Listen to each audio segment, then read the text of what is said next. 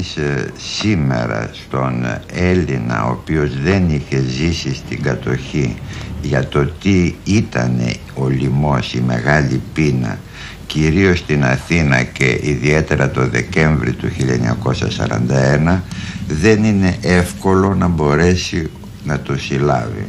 Ίσως είναι δύσκολο να συλλάβει και μια πόλη όπου τα μόνα αυτοκίνητα που κυκλοφορούσαν ήταν τα στρατιωτικά αυτοκίνητα του κατακτητή.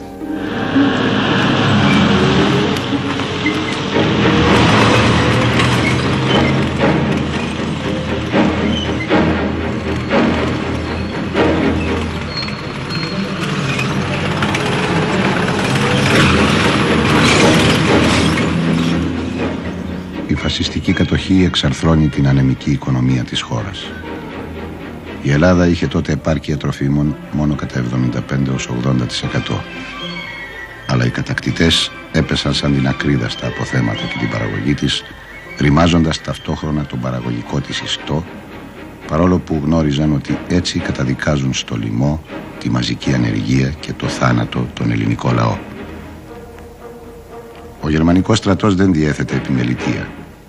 Είχε όμως ειδικές υπηρεσίες κατασχέσεων κάθε είδους, επιβολής παρακρατημάτων ή επιτάξεων κάθε κτηρίου που του χρειαζόταν.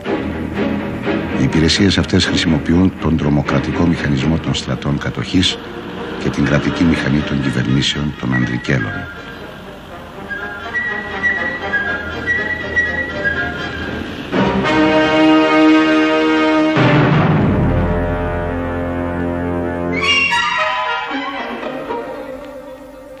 Νέα Ευρώπη, τον Ναζί, παρουσιάζει το ληστρικό και τρομοκρατικό της πρόσωπο. Από τον Ιούλιο ακόμα του 41 επιβάλλεται με την ποινή του θανάτου η συγκέντρωση, δηλαδή η ληστεία της σοδιάς. Απαγορεύεται πάσα πώλησης ή καθιονδήποτε τρόπον μεταβίβασης σιτηρών εν γέννη, συγκομιδής 1941. Προς εξασφάλιση νοπού κρέατος δια τα γερμανικά στρατεύματα, διατάσσομεν η σφαγή βοήων πάσης κατηγορίας και χείρων δια των πληθυσμών απαγορεύεται και τιμωρείται. Και δεν είναι μόνο τα στρατεύματα τριών κατακτητών που έπρεπε να συντηρηθούν με το πλιάτσικο από το στάριο στα υφάσματα. Αυτός ο ρημαγμένος τόπος έπρεπε να θρέφει και να ντύνει και τον πληθυσμό των Μητροπόλεων. Η λαφυραγώγηση ολοκληρώνεται με το τυπωμένο χαρτί, τα περιβόητα μάρκα κατοχής και τις μεσογειακές δραχμές των Ιταλών, Απτόητη ωστόσο η φασιστική προπαγάνδα προκαλεί με τον κινησμό της. Η προχθεσινή διανομή σούπας υπό των Ιταλικών στρατευμάτων. Φωτογραφίες με γερμανικές φορητές κουζίνες που χορηγούν γενναιόδωρα νεροζούμι σε πεινασμένους Έλληνες.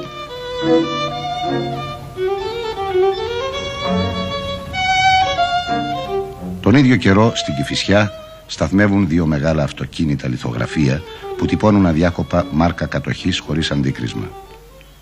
Τελικά για να δώσουν κάποια νομιμοφάνεια στη ληστεία, αντί του ξένου τυπώνουν ελληνικό νόμισμα. Την 1η Αυγούστου του 1941 οι κατακτητές κουβαλούν στην Τράπεζα της Ελλάδας με τα τσουβάλια, μάρκα κατοχής και μεσογειακές δραχμές και τα ανταλλάσσουν με αντίστοιχου βάρους τσουβάλια γεμάτα φρεσκοτυπωμένες νέες δραχμές. Αρχίζουν από 50 λεπτά μέχρι 50 δραχμές. Στο τέλος θα φτάσουν να τυπώνουν χαρτονομίσματα των 2 δισεκατομμυρίων δραχμών. Ο πληθωρισμός καλπάζει πια ασυγκράτητος. Αν τον Απρίλιο του 41 χρειαζόσουν 10 δραχμές για να αγοράσεις μια οκά ψωμί, το Σεπτέμβριο του 44 απαιτούνται 153 εκατομμύρια. Ουσιαστικό νόμισμα που ρυθμίζει τις τιμές γίνεται η χρυσή λίρα. Ως τον Οκτώβριο του 44 η τιμή της θα αυξηθεί κατά 1 δισεκατομμύριο 633 εκατομμύρια φορές. Στα σκαλοπάτια. Τα γόνατα αρχίζουν να λυγούν από την πείνα. Οι Ναζί όμως με σχολαστικότητα και τάξη συντάσσουν λεπτομερείς καταλόγους για κάθε ανάγκη του Γερμανού στρατιώτη που πρέπει να ικανοποιηθεί. Για τσιγάρα τρεις χιλιάδες δραχμές. Για επίσκεψη οίκου ανοχής αρκετά φτηνότερα. 1500 δραχμές. Με τον τρόπο αυτό το κατακεφαλήν βάρος των κατοχικών δαπανών για τη μικρή και καθημαγμένη Ελλάδα υπερβαίνει στο πενταπλάσιο τις ανάλογες δαπάνες της Γαλλίας.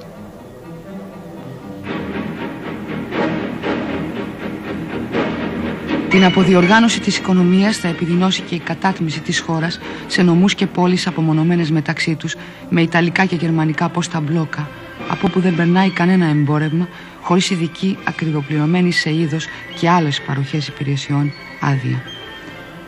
Πράγμα που μαζί με την επίταξη των μεταφορικών μέσων και των καυσίμων ξεκόβει τις αγροτικές περιοχές από τις πεινασμένες πόλεις και μετατρέπει την εθνική οικονομία σε ένα σύνολο αποκλειστές τοπικές οικονομίες που ψυχοραγούν.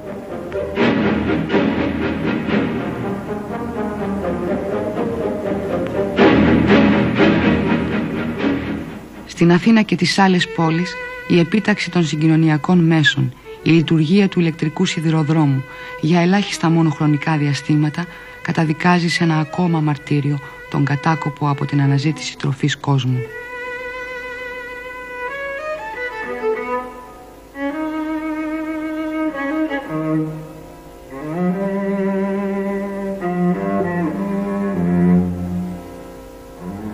Ανελαίτε σουρές τα λιγοστά λεωφορεία και τα τραμ που φτάνουν κατάφορτα.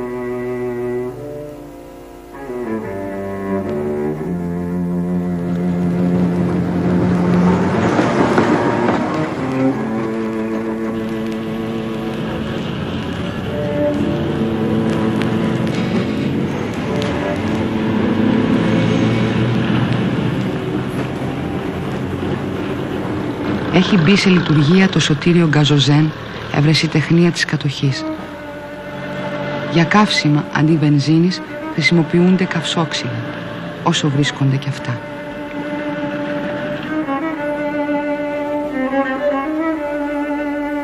Πλατεία Κολονακίου Και εδώ ακόμα κάνουν πιάτσα τα καροτσάκια.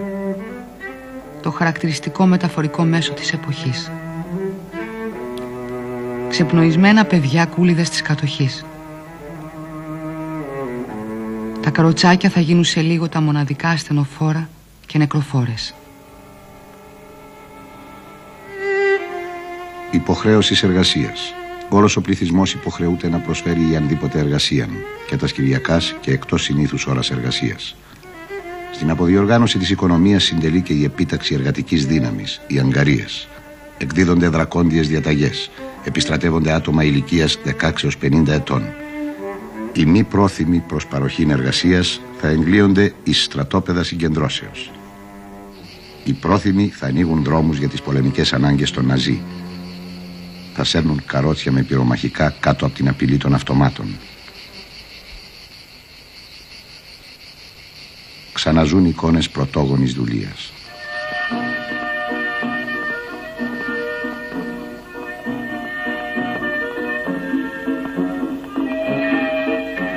Στο μεταξύ οι χιτλερικοί ψυχαγωγούνται. Εκδρομές με πλοία στο Αιγαίο. Τα κορντεόν απαραίτητα. Και οι στρατιωτίνες βέβαια. Ο πόλεμος για την προπαγάνδα του Γκέμπελς Είναι μια συναρπαστική περιπέτεια αρίων σε εξωτικούς τόπους. Όλα τα έξοδα πληρωμένα Ταυτόχρονα η Ελλάδα που λιμοκτονεί δανείζει το Τρίτο Ράιχ, δανεικά και αγύριστα βέβαια, για την κάλυψη κατά τα τρία τέταρτα των δαπανών της Ιταλογερμανικής στρατιάς στη Βόρεια Αφρική. Εξωτικός τόπος και το Άγιον Όρος. Δοκιμάζουν το παλιό κρασί του, χαριεντίζονται με τους μοναχούς, τραβώντας τους έτσι για στείο τα γένια. Στο μεταξύ κάνουν μοιραία την εμφάνισή τους στα κονσερβοκούτια, κατσαρολάκια ευκαιρίας.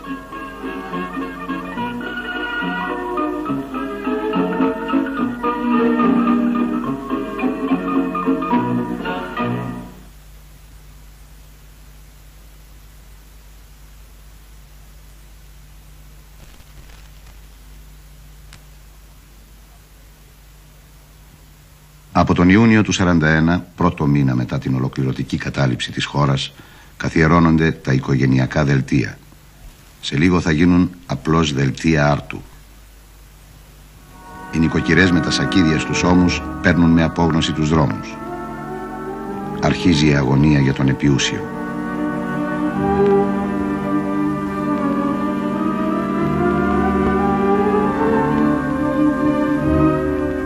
Στην Ομόνια κάποιος στο πλήθος επιχείρει να διαβάσει εφημερίδα. Τα τελευταία νέα ζωής ή θανάτου είναι. Θα υπάρξει αύριο διανομή. Πόσα δράμια ψωμί; 50 δράμια.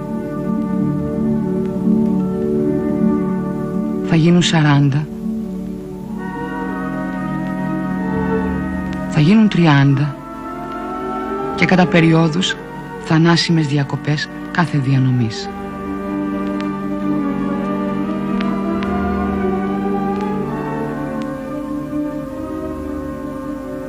Μπρος σε αυτή την κατάσταση αρχίζει μια προσπάθεια για συσίτια. Ένα από τα πρώτα είναι το φοιτητικό στα Πευκάκια.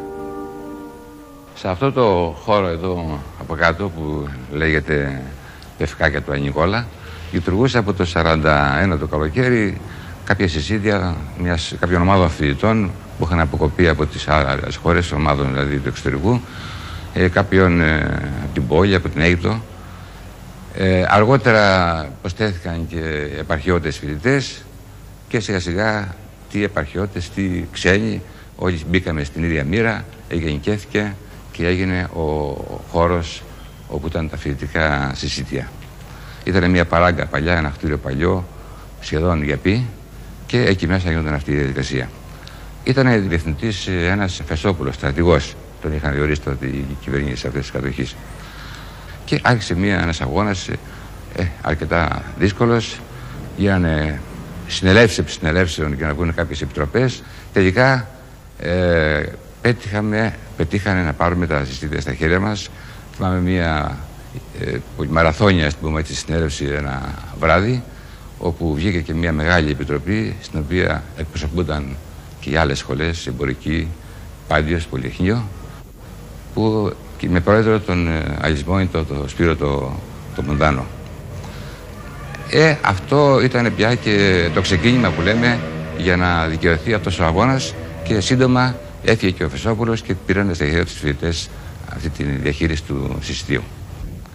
Την περίοδο εκείνη στο Πολυτεχνείο ε, δεν υπήρχαν μαζικές οργανώσεις, δεν υπήρχαν σύλλογοι, ε, και λόγω της δικτατορίας αλλά και λόγω της διομορφίας. Υπήρχε ένα φιλανθρωπικό ταμείο απόρων σπουδαστών του Πολυτεχνείου που πλήρωνε μερικά δίδακτρα σε μερικούς άπορους. Ήταν διορισμένοι όλοι και το κυριαρχόνταν από τη Σύγκλιτο. Οι σπουδαστές του τέταρτου χρόνου ε, με εκλογές ε, εξέλεξαν τρεις σπουδαστές και πρότειναν δύο καθηγητές, τον Ρουσόπουλο, τον Θανάση και τον Νίκο Κριτικό και επέβαλαν αυτή τη διοίκηση στην Βρετανία. Επιτροπή Συσιτίων των Σπουδαστών του Πολυτεχνείου. Ανάμεσά τους ο Φέδων Αντωνόπουλος, το παλικάρι που σκοτώθηκε αργότερα από συνεργάτες των Ναζί. Ο Γιάννης Ξενάκης, ο γνωστός σήμερα συνθέτης. Ε, το Ταμείο Απόρων Σπουδαστών έγινε έτσι η μαζική οργάνωση όλου του Πολυτεχνείου και καταπιάστηκε με τα ζητήματα όχι των απόρων αλλά όλων των φοιτητών. Το κύριο πρόβλημα ήταν να ανοίξει το Πολυτεχνείο σε όλα τα χρόνια, βασικό πρόβλημα. Επίσης να ε, ιδρυθούν συσίτια, να λειτουργήσουν συσίτια και εδώ πρέπει να πω ότι υπήρχαν, υπήρχε συσίτιο των φοιτητών όπου μπάσαμε και αρκετούς σπουδαστές στα Πευκάκια στον Άγιο Νικόλα στα, στα Εξάρχεια, στο Λικαδιτό ε, και επίσης ε, να, να γράφονται οι σπουδαστές χωρίς λεφτά γιατί τότε υπήρχε, υπήρχε δυσκολία οικονομική ιδιαίτερα και από τους ε, επαρχιώτες αλλά και από τους Αθηναίους. Εκείνη την εποχή τα γεγονότα κυλούσαν έτσι κάπως φυσιολογικά, δεν μου κάνει και εντύπωση. Τώρα που σκέφτομαι και προσπαθώ να δώσω κάποιες εξηγήσεις Θυμάμαι με την ε, προθυμία με την οποία ανεβαίναμε εδώ πέρα κάθε μέρα αρκετές ώρες πριν είναι η ώρα της διαδρομής. Θυμάμαι επίσης το ότι πολύ αργότερα φεύγαμε και κυρίως τον πρώτο καιρό και ε, το εξηγώ σαν μια εσωτερική, όχι τόσο γιατί ήταν το πιάτο που μας ε, ανάγκαζε να έρθουμε, γιατί δεν είχε ακόμα και σφίξει και η πείνα, αλλά ήταν περισσότερο μια εσωτερική ανάγκη των φοιτητών. Απέναντι στην, ε, στο καθεστώς αυτός της σιωπής που ήθελε να βάλει η κατοχή στους κινδύνους, στο φόβο, στη δημοκρατία, στη βαθαρότητα, στην απόγνωση που ε, δημιουργούσες, στου κινδύνου γενικά που ένιωθε ο καθένας από τον, από τον ζώνη από όλες τις μεριές, ήταν μια, μια αναζήτηση ε, να στηριχθεί ο ένας τον άλλον, να μην χάσει που λέμε, να μην ξεκοπεί από το περιβάλλον, από τον δικό του, τον δικό του με μια ευρύτερη έννοια, ας πούμε, το, το συναδελφό του, το, το φοιτητή και θεωρώ ότι αυτό ήταν ε, πράγματι ε, ήταν, ήταν δηλαδή, αυτό το ένστικτο της αυτοσυντήρησης που έχει ο καθένας στη ώρα κινδύνου άρχισε να αναπτύσσεται και ζυμωνόμενο με την ιδέα με την, ε, έγινε σιγά σιγά η, ιδέα της αντίστασης ε, η οποία υιοθετήθηκε πούμε, από τόσο ευρύς ε, ε, δυνάμεις των ε, φοιτητών. Φθινόπορο του 41 η πείνα βάζει πια τη σφραγίδα της στα πρόσωπα των παιδιών. Το ψάξιμο των σκουπιδιών. Κάποιες φλούδες από πατάτες, κάποια μισοσαπισμένα φρούτα μπορούν να βρεθούν ακόμα.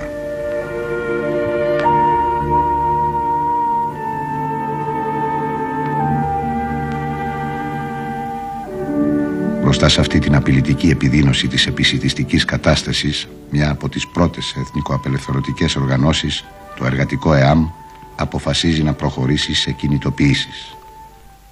Στην τροφική εταιρεία, αρχάς το Σεπτέμβρη, κάναμε την πρώτη απεργία. Που είχε σαν σκοπό τη δημιουργία, τη δημιουργία επιτροπής επισητισμού κάτω από τον, την, την, πίεση τη, τη δική μας η γερμανική εταιρεία, η γερμανική εταιρεία ήταν και πριν αλλά και οι Γερμανοί ήταν οι διοικητές και πριν από τον πόλεμο. Δεχτήκαν να κάνουν μια επιτροπή επισυντισμού φτιάξαν μια επιτροπή επισυντισμού στείλαν σε διάφορα μέρη να φέρουν τρόφιμα όλο υποσχέσεις μας δίνανε κάναν την υπομονή και σήμερα θα έχουμε και τα θα έχουμε αλλά εμείς κάθε πρωί πρωτού ξεκινήσονται τα συνεργεία για, τα, για τις εργασίες τους εμείς κάναμε στάσεις. Μια ώρα, δύο ώρες, τρεις ώρες κάθε μέρα. Οπότε δυσκολεύαμε την, την επέκταση του, του δικτύου και το, είχαν ανάγκη οι Γερμανοί για να επεκταθεί το και παραχώρησαν λοιπόν μισή κοραμάνα ανά δυο άτομα μέρα παραμέρα. Εμείς βάζαμε θέμα να αυξηθεί το συζήτιο και πραγματικά πετύχαμε και με την ενίσχυση της εταιρείας να φτιάξουμε γενικότερο συσίτιο για όλους τους εργαζομένους. Αυτό έγινε τον Νοέμβριο του 1941. Το ελληνόφωνο περιοδικό των Ιταλών κατακτητών Κουαντρίβιο στις 15 Νοεμβρίου δημοσιεύει περισπούδαστο άρθρο περί της καλυτέρας διατροφής του λαού. Συμβουλεύει τους Έλληνες να χρησιμοποιούν μεικτήν τροφήν αποτελουμένη όχι μόνο εκφυτικών τροφίμων άτινα είναι αυθονότερα και ευθυνότερα αλλά και εκζωικών τιούτων. Αν είχαν διαβάσει το κουαδρίβιο ίσως να μην έπεφταν μαζί με τα φύλλα του φθινοπόρου και η πρώτη νεκρή από Ο κόσμος εντυπωσιάζεται, μαζεύεται ανήσυχος δεν θα περάσουν παρά δύο-τρεις εβδομάδες και αυτό που σήμερα συγκλονίζει τους περαστικούς θα γίνει το κοινότερο θέαμα. Αν και νέα παιδιά τότε αρχίσαμε να συνηθίζουμε να βλέπουμε στους δρόμους της Αθήνας ανθρώπους πεσμένους που δεν μπορούσαν να σηκωθούν ή σιγά σιγά και πεθαμένους τους οποίους κανένας δεν είχε τον καιρό ή τη δυνατότητα να σηκώσει. Ίσως ε, θα είναι πιο χαρακτηριστική μια προσωπική εμπειρία που συνδέεται και με τη φοιτητική ζωή. Η νομική σχολή ήταν εκεί που είναι και σήμερα, η αίθουσα η σημαντικότερη ήταν της οδού Σίνα και από την άλλη πλευρά στην οδόν Μασαλίας ήταν τότε το νεκροτομείο. Το, στο νεκροτομείο από το 1940 που μπήκαμε στο πανεπιστήμιο χαζεύαμε από τα παράθυρα κάθε τόσο τους ε, νεκρούς που είχαν φέρει ήταν δυο-τρεις κάθε φορά που τους εξετάζανε οι γιατροί απάνω σε κρεβάτια τότε πια τον ε, Δεκέμβριο του 1941 άρχισαν να έρχονται σε άλλους αριθμούς ούτε τους δίναν ούτε τους εξέταζε κανένας. Είχαν τραβήξει και τα κρεβάτια και τους απειθώνανε απλώς στο πάτωμα. Στην αίθουσα της Σίνα που γινώσαν τα μαθήματα μύριζε η φορμόλη όπως μας λέγανε.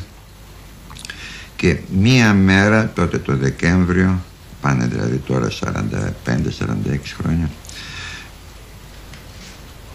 μπήκε από την Ακαδημία ένα παμπάλαιο φορτηγό του Δήμου και κατεβήκανε δύο σκουπιδιάριδες με ένα φορείο μπήκανε μέσα στο νεκροτομείο βγάζαν δύο-δύο αυτούς που ήταν απειθωμένοι στο πλακάκια και μετά με ένα οπ πιάνοντας τα χέρια και τα, τα πόδια τους πετάγανε απάνω στο φορτηγό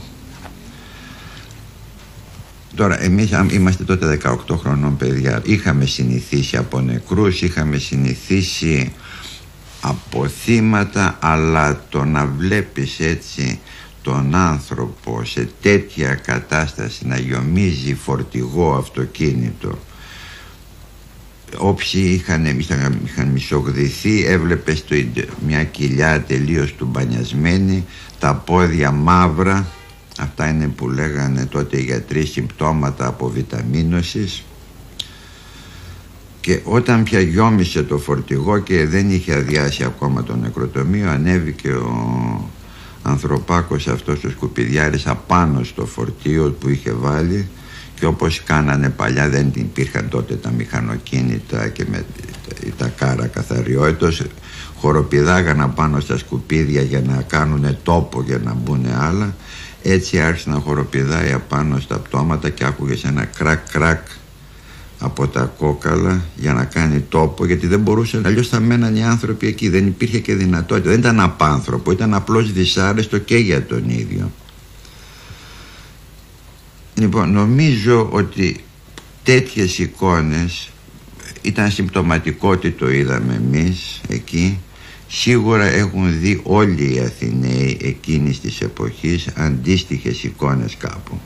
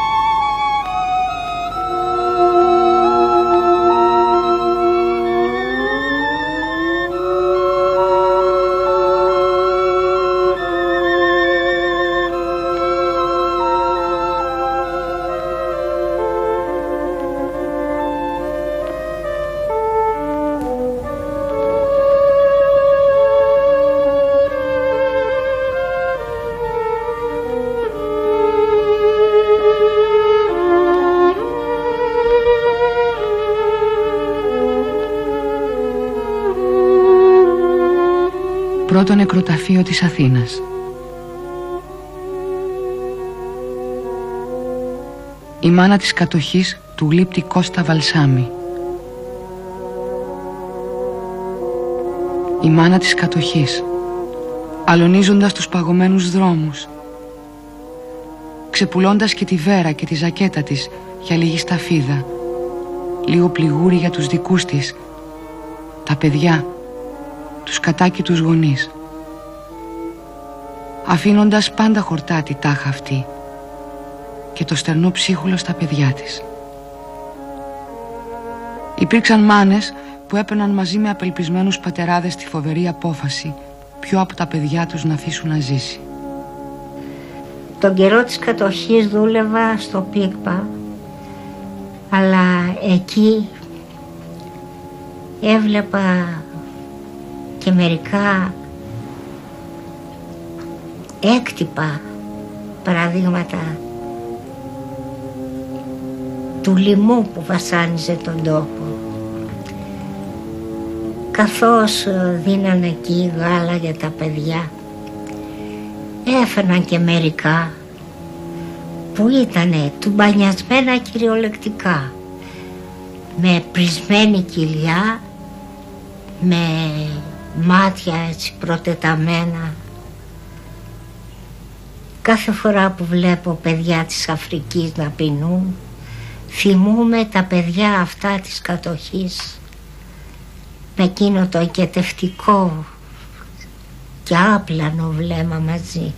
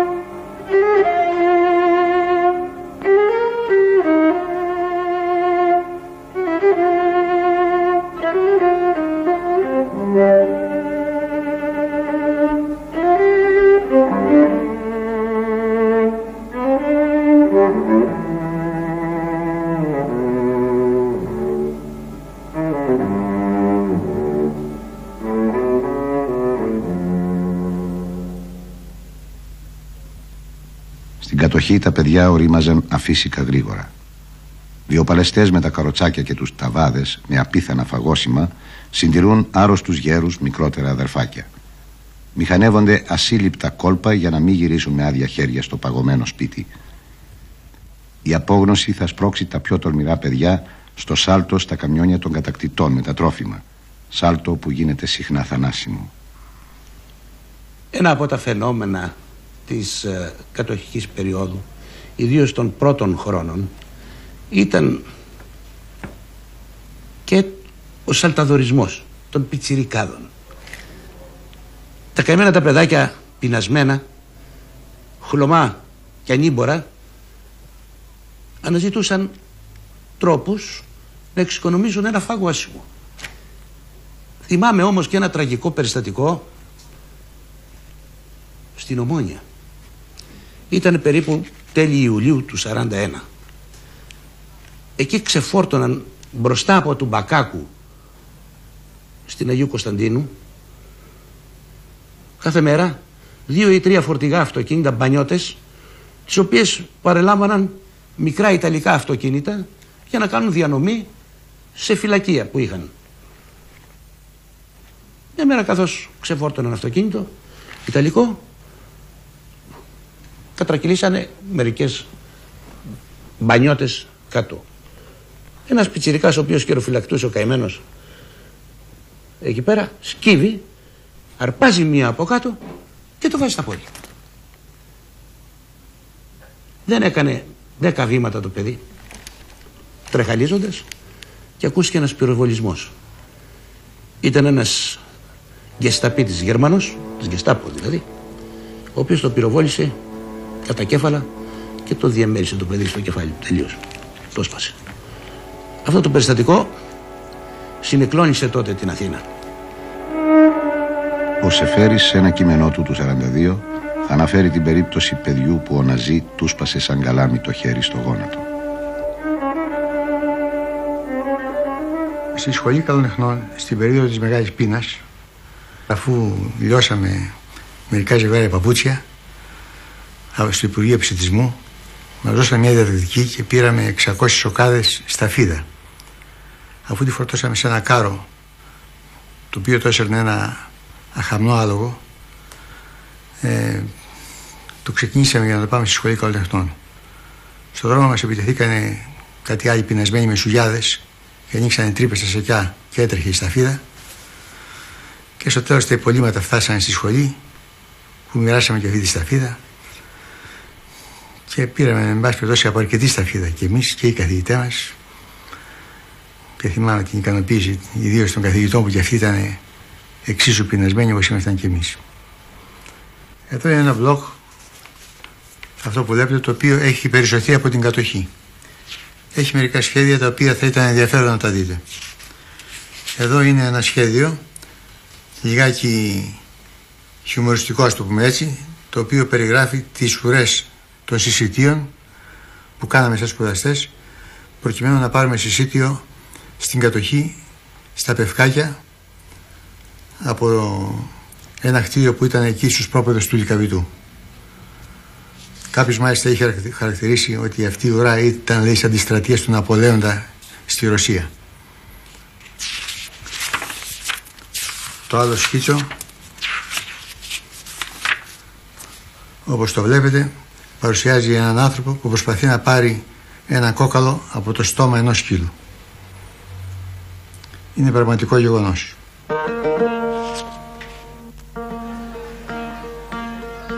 Άδεια η κεντρική αγορά στην οδό Αθηνάς.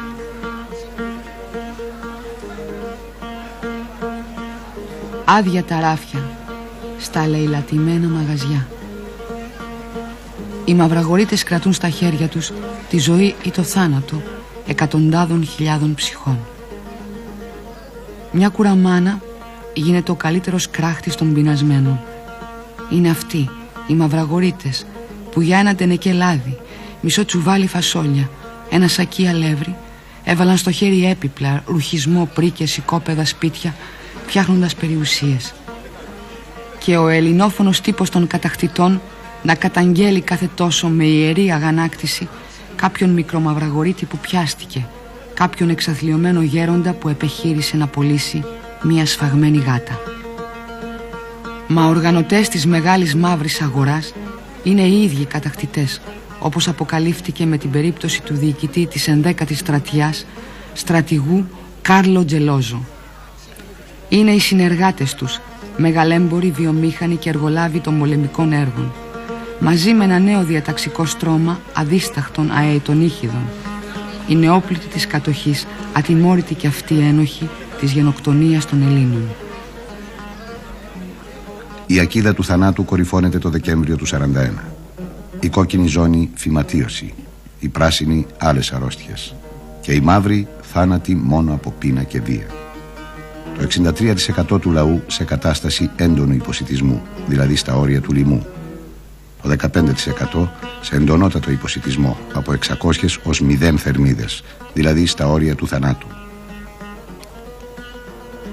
Ένοχοι για αυτή τη λευκή σφαγή που στήχησε 260.000 ζωές Ελλήνων είναι οι κατακτητές και οι συνεργάτες τους. Σοβαρή ευθύνη όμως έχει και η εξόριστη ελληνική κυβέρνηση που δεν ενήργησε έγκαιρα και αποφασιστικά για κάποια συμφωνημένη χαλάρωση του αποκλεισμού από το Βρετανικό στόλο, για πιο επίγουσα βοήθεια μέσω του Διεθνούς Ερυθρού Σταυρού και ουδέτερων χωρών. Η περίπτωση του τουρκικού πλοίου Κουρτουλούς και αργότερα του Τουλουμπουνάρ που μετέφεραν τρόφιμα του Διεθνούς Ερυθρού Σταυρού ανακουφίζοντας το λαό αποδείχνει ότι η ασύλληπτη τραγωδία του λοιμού μπορούσε να περιοριστεί σε μεγάλο βαθμό.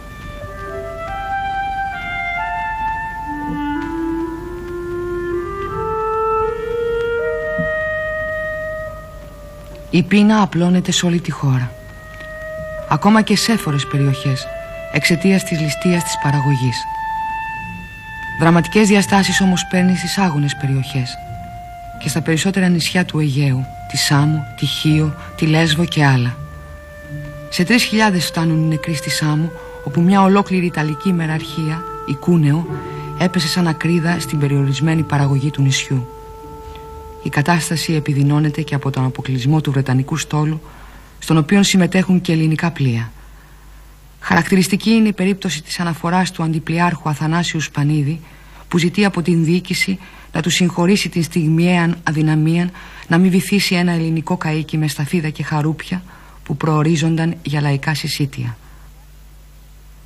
Αναφορά της γερμανικής διοίκησης Θεσσαλονίκης Αιγαίου τονίζει ότι τα τρόφιμα τελειώνουν στη Θεσσαλονίκη, Λέσβο και Χίο. Στη Θεσσαλονίκη γίνεται διανομή άρτου δύο φορές την εβδομάδα από 123 γραμμάρια το άτομο. Αλλά και αυτό τελειώνει. Πεινασμένα παιδιά στο Πατριωτικό Ίδρυμα Χίου. Σε 235% θα αυξηθεί η θνησιμότητα σε αυτό το νησί, ξεπερνώντας και το μακάβριο ρεκόρ της Αθήνας. Ο πληθυσμός της χώρας θα είχε φτάσει με ομελές συνθήκες στα 7.745.000 το 1944. Αντί αυτού, η Ελλάδα βρέθηκε με 6.815.000, δηλαδή συνολική απώλεια 930.000 Έλληνες. Μεγαλύτερη γενοκτονία δεν έχει γνωρίσει η χώρα μας. Λιμοκτονεί επίσης ο λαός στις ορεινές περιοχές του Μοριά, της Ρούμελης και ιδιαίτερα της Ευρυτανίας. Η Ευρυτανία γενικά είναι μια περιοχή πάρα πολύ όμορφη φυσικά, αλλά πάρα πολύ άγωνη. Έχει πολύ πράσινο, αλλά δεν έχει ζούσε από τους μετανάστες.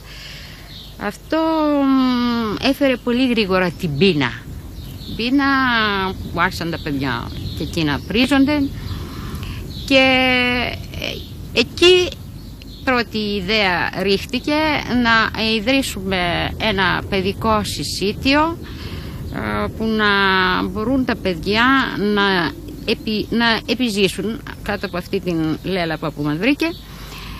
Και ξεκινήσαμε και τις 25 του Μάρτιου του 1942 με πρωτοβουλία του γυμνασιάρχη τότε Δημήτρη Θάνου που με έκανε την πρόταση να μιλήσω στην εκκλησιά για να φτιάσουμε το πρώτο παιδικό συσίτιο στην Ευρυτανία που πίστευε πως όλοι θα μας μιμούνταν.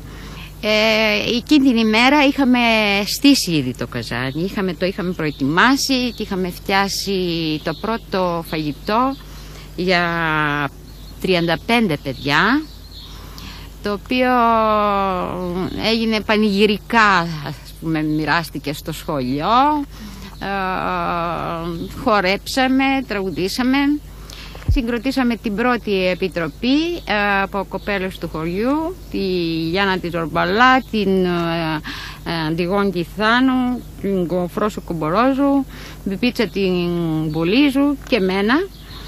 Και ξεκινήσαμε να ζητάμε από τα αρχοντόσπιτα να δώσουν κάθε οικογένεια από ένα ημερήσιο συσίτιο. Η πρωτοβουλία του μικρού χωριού για παιδικά συσίτια επεκτείνεται με τη συμπαράσταση και των πρώτων νεαμικών ομάδων και στα άλλα χωριά της Ευρυτανίας, στο μεγάλο χωριό, στους χωρισχάδες και αλλού. Απαραίτητο συμπλήρωμα της καθημερινής εξάρτησης στη μάχη με την πείνα, το κονσερβοκούτι κουδουνίζει πένθυμα κρεμασμένο με σπάγκο από τη μέση των παιδιών στην Αθήνα. Για την αντιμετώπιση της πείνας συσίτια οργανώνουν ο Ερυθρός Σταυρός, η Αρχιεπισκοπή, το Πατριωτικό Ίδρυμα, διάφορες συντεχνίες και σύλλογοι. Στο κέντρο της προσοχής του ΕΑΜ και των άλλων εθνικοαπελευθερωτικών οργανώσεων βρίσκεται η οργάνωση συσιτίων στους χώρους δουλειάς, στα σχολεία και τις λαϊκές γειτονιές η εξασφάλιση τροφίμων, η χρηστή διαχείριση από επιτροπές εργαζομένων, σπουδαστών ή κατοίκων της γειτονιάς. Είναι μια διαρκής μάχη να μην πεθάνουν άλλοι Έλληνες από πείνα. Καθημερινές επικηρύξεις καταδιωκόμενων πατριωτών και δίπλα τα θύματα που δεν πρόλαβε να σώσει ο αγώνας για την επιβίωση.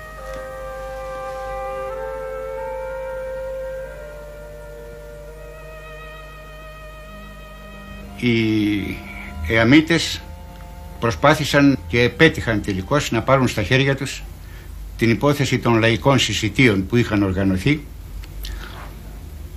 στις ε, διάφορες συνοικίες και που παρήγαν δεκάδες χιλιάδες απομερίδες αλλά επικεφαλής αυτών των εστιών ε, ετοποθετήθηκαν πρόσωπα αναρμόδια και αρκετά ανεύθυνα που μερικά ε, προσπάθησαν να επωφεληθούν από την υπόθεση αυτή για δικό τους όφελος. Τότε ο Λικουρέζος που ήταν στην Κεντρική Επιτροπή Συσιτίων σε μια επαφή με το ΕΑΜ ζήτησε ανθρώπους ε, οι οποίοι ε, να είναι αναμφισβήτητα αποφασισμένοι να παίξουν το ρόλο τους με εντιμότητα και ανέθεσε σε αυτούς την ε, διεύθυνση 16 εστιών στην περιοχή της Αθήνας. Ε, ανάμεσα σε αυτές τις εστίες ήταν η εστία Χαροκόπου της οποίας η δικαιοδοσία εκτείνονταν από το Κουκάκι μέχρι την Γλυφάδα και πέρα η οποία παρήγε 35.000 μερίδες ε, συσιτιού την ημέρα.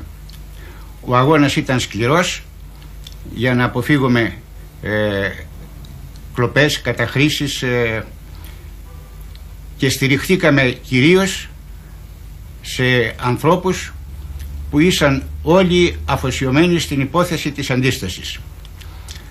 Από τις υπεύθυνες θέσεις των διευθυντών, των λογιστών και άλλων ε, ειδικοτήτων μέχρι τους ανθρώπους που σέρνανε τα καροτσάκια και μετέφεραν το συσίτιο να πούμε στις απότατες γωνίες από της περιοχής αυτής. Υπήρχαν παράνομες επιτροπές που λειτουργούσαν σε όλες τις αιστείες και μια συντονιστική για όλη την υπόθεση των συσιτίων όπως άλλη επιτροπή υπήρχε για το Πατριωτικό Ίδρυμα άλλη για τα συσίτια τα λεγόμενα της ΕΟΧΑΠ. Οι απεργίες εναντίον της πείνας που ξεσπούν την άνοιξη του 42 εγκαινιάζουν το πέρασμα σε μια ανώτερη μορφή μαζικού αντιστασιακού αγώνα στην πρωτεύουσα. Στην πρωτοπορία περνούν τώρα οι δημόσιοι υπάλληλοι. Το ξεκίνημα γίνεται από το κεντρικό ταχυδρομείο της Αθήνας. Στις 14 Απριλίου, ύστερα από συναχή περιστατικά λιποθυμιών από πείνα, οι τριατατικοί, όπως έλεγαν τότε τους εργαζόμενους των τριών ΤΑΦ, των ταχυδρομικών, τηλεγραφικών και τηλεφωνικών υπηρεσιών, κατεβαίνουν σε απεργία. Αφηγείται ο παλιός συνδικαλιστής Κυριάκος Δασκαλάκης κατά τις 11 η ώρα περνούσα έξω από το κεντρικό ταχυδρομείο εκεί συνείδησα τους αδελφούς κλαδί οι οποίοι ήταν τριατατικοί ο ένας εξ αυτών ήταν πολύ γνωστός μου με σταματάνε και μου λένε απεργία απεργία και μου είπαν ότι αυτό και αυτό συνέβη στο πεζοδρόμιο πάνω ήταν και γνωστός μου ο Μπάμπης Ανδρουλιδάκης ο οποίος ήταν ανώτερος υπάλληλος των ΤΑΦ τότε και μου φωνάζει και ο Μπάμπης, λέει απεργία, απεργία. Τι λέτε ρε παιδιά, ε, εντάξει του λέω.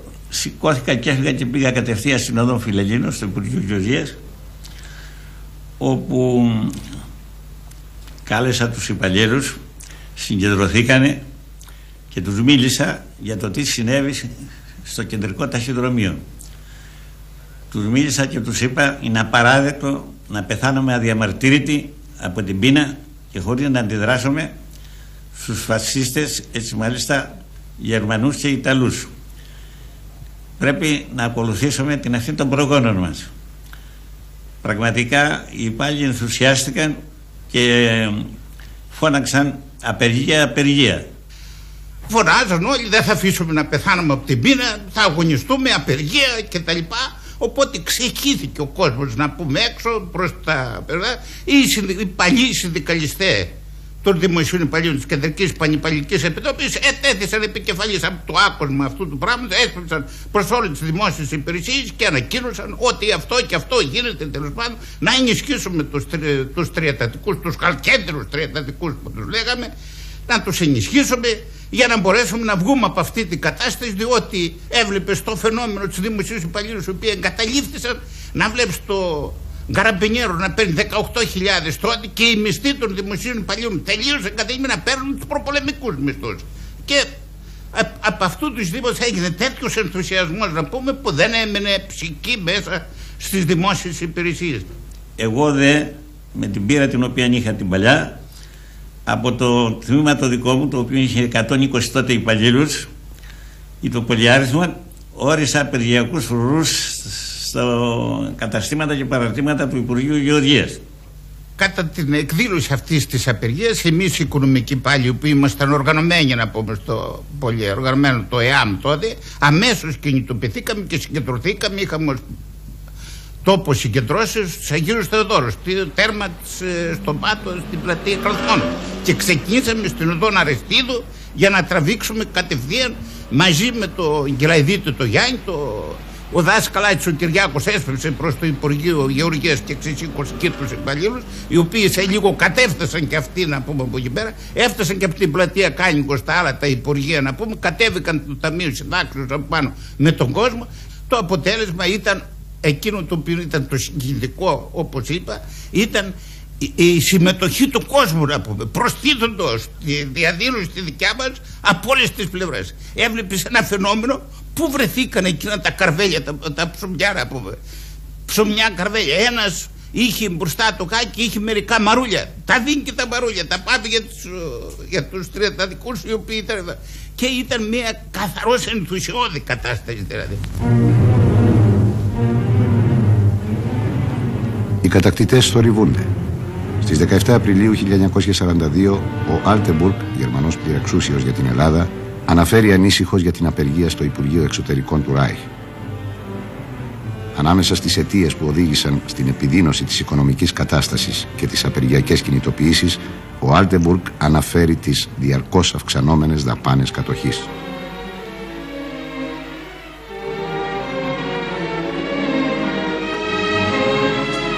Την επομένη, 18 Απριλίου, η απεργία γενικεύεται σε όλα τα Υπουργεία και τις δημόσιες υπηρεσίες της Αθήνας και του Πειραιά και ο Άλτεμπουργκ υποχρεώνεται να στείλει νέα, περισσότερο ανήσυχη αναφορά.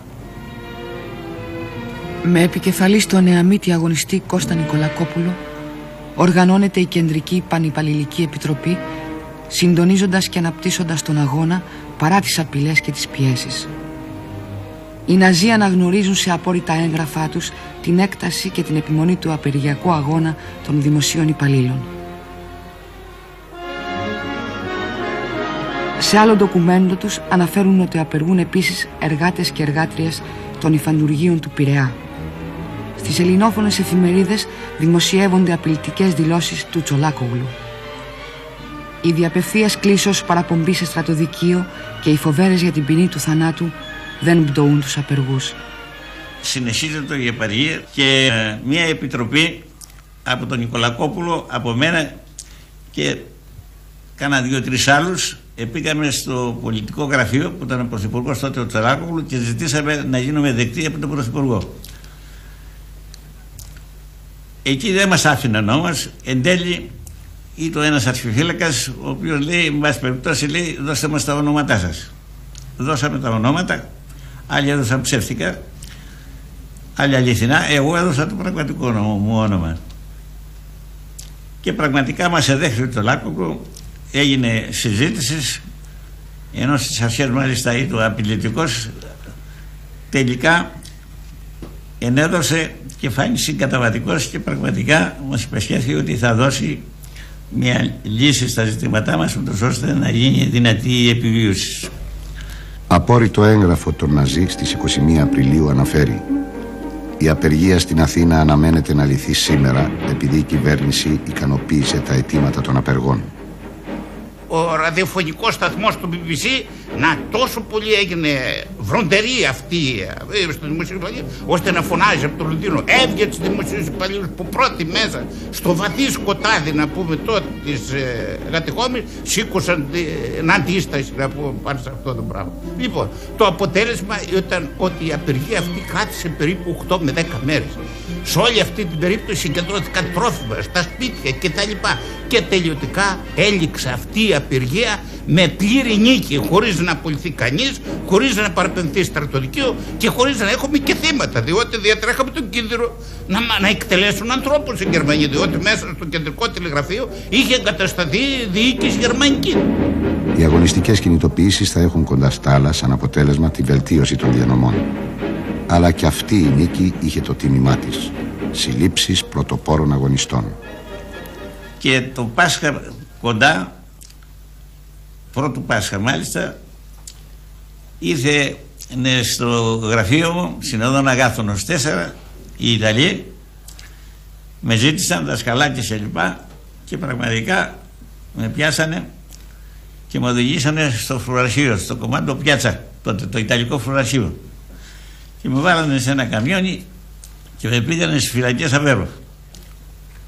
Τέρθο πιάνο είπαν. Με ανεβάσανε πάνω, εκεί ανοίξανε την πόρτα και μου δώσανε μια κλωτσά και μπήκα μέσα όπου με υπεδέχθη ο Κώστας Αυγούσιος, ο ιδιαίτερος του Παπαντρέου. Διότι στο ίδιο διαμέρισμα τότε εκρατεί το ο, ο αείμνηστος Γιώργος Παπαντρέου και ορισμένοι άλλοι αξιωματικοί. Και φτάνουμε στο δεύτερο καλοκαίρι της κατοχής. Οι φοιτητές, σπουδαστές και μαθητές έχουν το δικό τους τρόπο να αντιδρούν στην ατμόσφαιρα βίας, τρόμου και θανάτου που δημιουργούν οι κατακτητές και τα όργανα τους. Οργανώνουν εκδρομές στα κοντινά προάστια. Παίρνουν μαζί τους το πληγούρι, τα γυφτοφάσουλα ή τη σταφίδα του συσιτίου τους και έχουν το κουράγιο να στήσουν το χορό ακόμα και μέσα στο ποταμάκι. Κι όμως, όπως αναφέρει μια ιατρική έκθεση του 1942, από την εξέταση 2.000 φοιτητών, μόνο 10% βρέθηκαν υγιείς, ενώ 20% είχαν ενεργό φυματίωση, 30% ήταν προφυματικοί και 40% αδενοπαθείς. Εκείνο που τους δίνει το κουράγιο και την ελπίδα είναι η αντίσταση, ο αγώνας.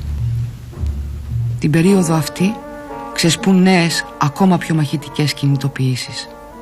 Ε, μία από τις σοβαρότερες εκδηλώσεις έγινε στις 6 Ιουλίου του 1942 από φοιτητές, μαθητές, ε, αναπήρους, ορισμένους ένα μικρό μέρος από εργάτες και ακόμα και, και ηθοποιούς κλπ. Στην αρχή έγιναν την, την ημέρα εκείνη, είχε οριστεί να γίνουν ορισμένες παραστάσεις σε διάφορους στόχους, αρχιεπισκοπή κλπ. Για τη βελτίωση των συζητήων που είχαν ήδη ιδρυθεί. Ο τελικός στόχος ήταν το Υπουργείο Οικονομικών, που ο υπουργός εκείνη την εποχή ήταν ο Κοτζαμάνη.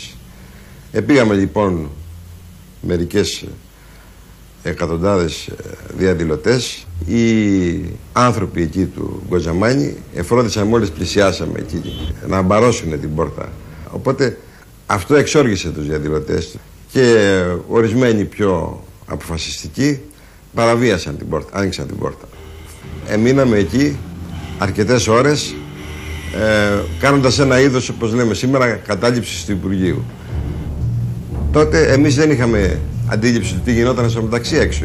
Αλλά την ίδια ώρα από ό,τι μάθαμε μετά, έξω γινόταν συγκρούσεις άλλων διαδηλωτών στην πλατεία Συντάγματος με χαραμπινιέρου, Ιταλούς και με αστυνομία που είχαν συγκεντρωθεί στην πλατεία Συντάγματος. Η αστυνομία τελικά πήρε εντολή να κάνει ε, έφοδο μέσα και να εκενώσει το Υπουργείο βιαίως.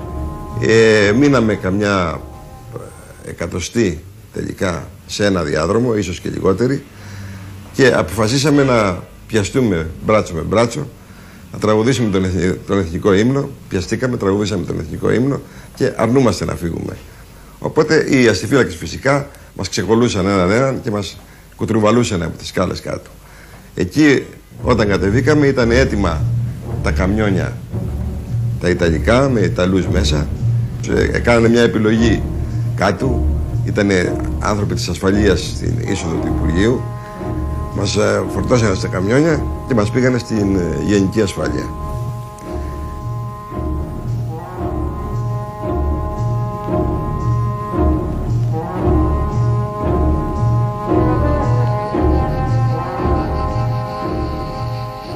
Το Το ίδιο καλοκαίρι εγκαινιάζονται οι αγωνιστικές κινητοποιήσεις και στην Ήπεθρο για να σωθεί η σοδιά από τους άρπαγες, να σταματήσουν οι επιτάξεις, να μην περάσει η δεκάτη.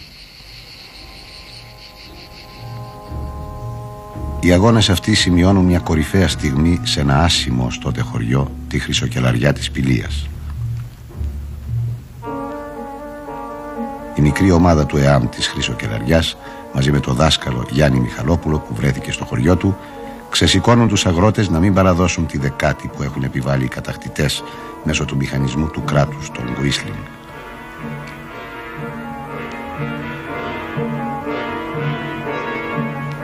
Πρώτη στέλνεται για να πάρει τη σοδιά η δύναμη χωροφυλακής της Κορώνης. Οι αγρότες, άντρες και γυναίκες αντιστέκονται. Ο διοικητής διατάσσει τους χωροφύλακες να ανοίξουν πυρ. Οι άντρες αρνούνται να πυροβολήσουν. Το απόσπασμα επιστρέφει άπρακτο. Απέτυχε η... αυτή η εξόρμηση της χωροφυλακής την επομένη ημέρα η... έφτασε στο χωριό η χωροφυλακή όλης της πηλίας αρκετή αυτή τη φορά με επικεφαλής στο διοικητή της υποδιοίκησης της Πηλίας. Τώρα πιο σκληρά βέβαια τα πράγματα και πιο σκληρό το ύφος και πιο απειλητικό το ύφος. Εζήτησε, έχουν έρθει στο μεταξύ πια, το έχουν μάθει τα άλλα χωριά, ειδοποίησαν και σύνδεσμα αλλά και το μάθαν για τα άλλα χωριά αυτό.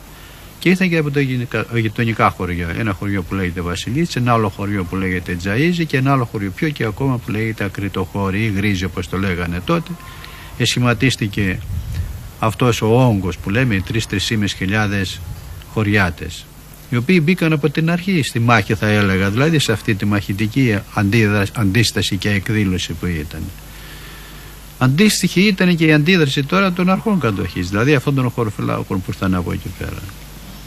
Μας φώνησε για διαπραγματεύσεις μέσα αλλά αντί να γίνουν στι διαπραγματεύσει μας λάβανε. Μας κρατήσανε εκεί και έκανε έφοδος στα πόμπα που μας βγάζαν έξω ο κρατούμενος έκανε επίθεση όλος αυτός ο κόσμος και μας ελευθέρωσε.